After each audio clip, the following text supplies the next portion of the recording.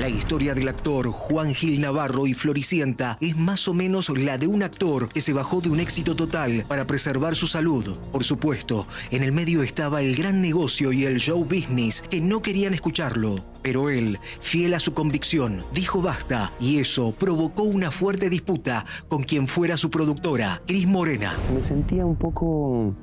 Me, daba vergüenza esta idea de, de decir, sí, hola, ¿qué tal? Soy el príncipe. Eso me parecía estúpido, me daba, vergü- me daba vergüenza. Me daba mucha vergüenza.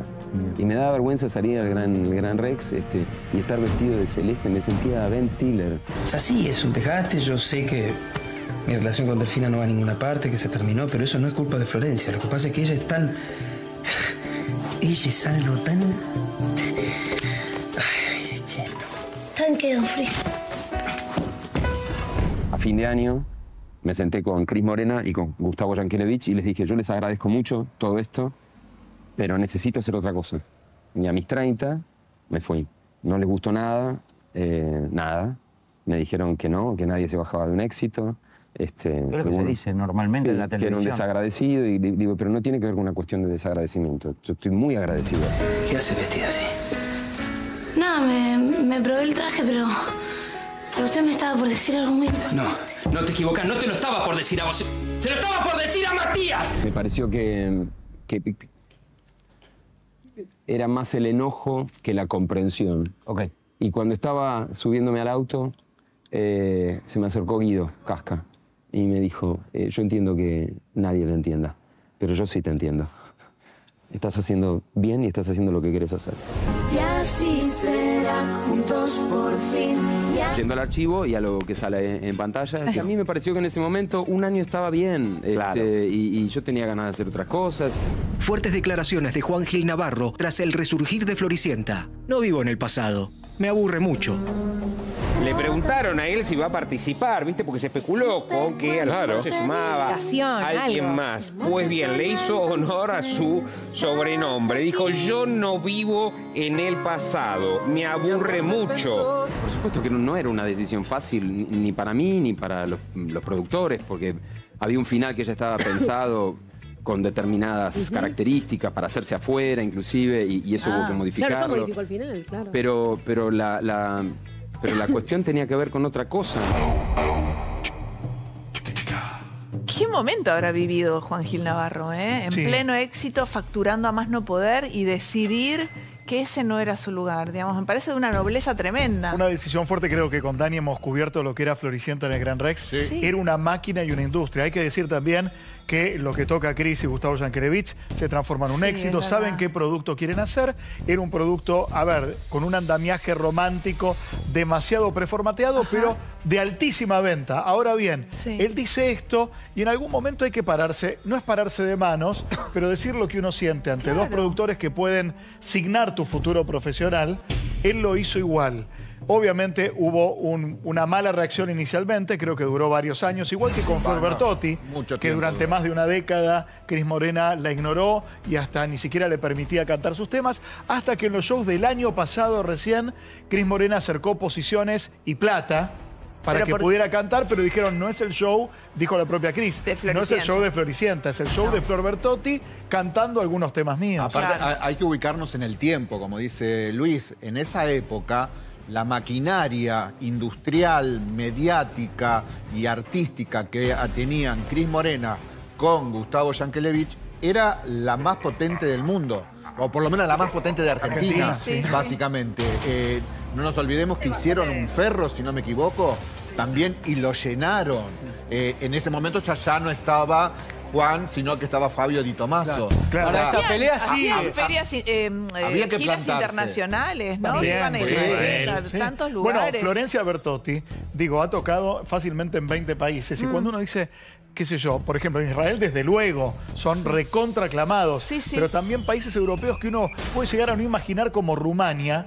Claro. Hay gente que vio el producto, claro, lo vio y lo siguen viendo hoy. Sí. Y hay fans. Pero y igual, tal. Luis, esto no se terminó, porque entiendo que mañana es el Cris Morena Day y no figura Juan Gil Navarro entre los presentes. Van a ir Ah, figuras que, Sí. que acompañaron a Cris en todos los ¿Y éxitos. Flor Bertotti va a estar? No figura tampoco en la lista inicial. La verdad que sería una sorpresa y está bueno ir a ver. Bueno, para porque muchos de los pasaron que- muchos años. Los que pasaron por las huestes de Cris Morena saben que, bueno, ella es la empresaria y la que hace el negocio. Sí. Y los actores cobran un sueldo, claro. En un principio es un proyecto que hay que ver cómo, Es la creadora. cómo decanta, Igual, pero, pero- después se convierte en un monstruo y Sí. claro, los Diego, actores pero también hay que decir algo. Claro, pero salió la la Floricienta. el negocio es ella. Con ¿no? Floricienta y como con Bandana hay un contrato de forma, Seguro. pero cuando las cosas andan no tan bien, astronómicamente bien, también han dado un dinero extra o han dado un Bueno, no es lo automóvil que cero kilómetros. Ahora, ex casi ángeles, Eh, no es lo que Juan cuentan. Gil Navarro decía, hubo alguien, hubo una persona entre todo el mundo que me dijo, yo, yo te entiendo. Ese fue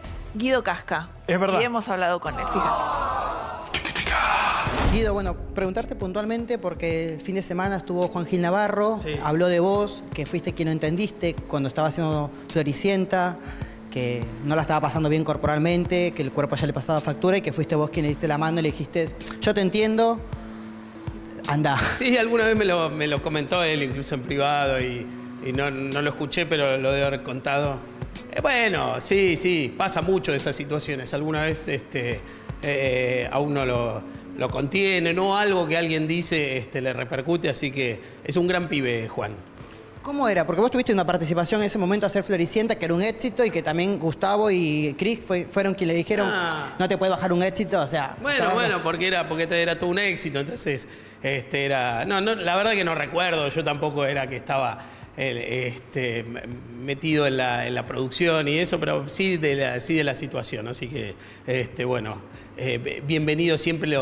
Juan es muy, muy cariñoso y se, y, se porta siempre muy bien en, muchas otras cosas y seguramente este, esto que me comentó lo, lo debe haber dicho al aire porque alguien también me lo dijo. Así que bueno, le, le agradezco que me haya agradecido y que se acuerde de eso, pero no tiene, no, no tiene importancia en el sentido para mí, sino que a él le hizo bien. Flor, ¿cómo la pasaba? ¿Que fue tu expareja? ¿Cómo te llevaba con una manifestación también? Digo, No, no me acuerdo muy bien, pero no, no nada, bárbaro. Lo que me acuerdo, bárbaro. ¡Wow! ¡Wow! Ah. ¡Wow! Oliver preguntó Flor de todo. pregunta metió. Sí, flor de pregunta, tal cual, tal cual. Un genio igual Guido, ¿eh? Un crack total, como respondió. Está todo. bien, digo, a ver, Guido fue un cable a tierra para una persona que seguramente con 30 años, joven aún, aunque, aunque maduro joven, habrá tenido una crisis. No creo que haya sido fácil para Juan Gil Navarro. Gracias a eso después llegó a Reglier con Halcón, también hay que decirlo. Su carrera actoral, su formación, tal vez buscaba otra cosa. Ahora, plantarte ante un éxito no solamente es un costo para el productor, sino también Sí. para quien abandona. ¿eh? Sí, ante un éxito Sí. entre la figura de Gustavo Yankelevich y de Cris Morena No, bajarse, chicos, bajarse de eso, realmente. Andá a decirle yo, no, me bajo de acá y no va. sigo La con China ustedes. Suárez, Ah, sin ir más lejos, se bajó de Casi Ángeles.